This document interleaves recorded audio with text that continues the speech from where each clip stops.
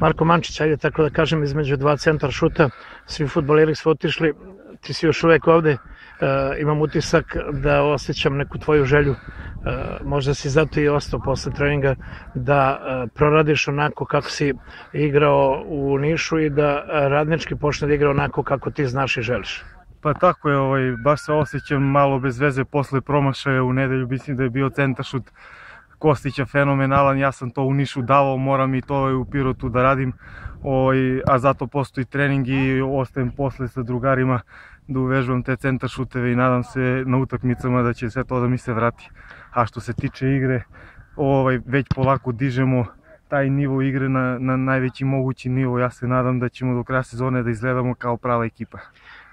specifična je utakmica u Bivolju i što se tiče tamo atmosfere, uslova, ali i zbog toga što eto, mnogi komentarišu i procenjuju da je možda ova utakmica koja može bude prelomna. Pa tako je, mi u Bivolju idemo da uzmemo tri boda.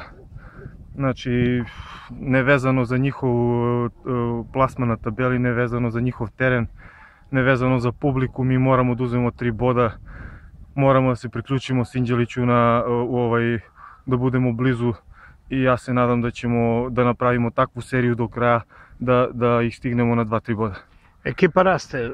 ajde povezat ću i s dolaskom Mileta Tomića, ali uh, ti znaš za neka druga vremena radničkog i čini mi se da ovo polako liči na ta vremena ili sam sugestivan kad pitam. Ne, ja se nadam da, da upravo idemo u tom pravcu. Mislim da će radnička opet da bude jak, treba malo strpljenja, ipak su to sve mladi momci imamo fenomenalnog trenera, puno radi, e, mnogo mi se sviđa što radimo sve sa loptom, što hoćemo e,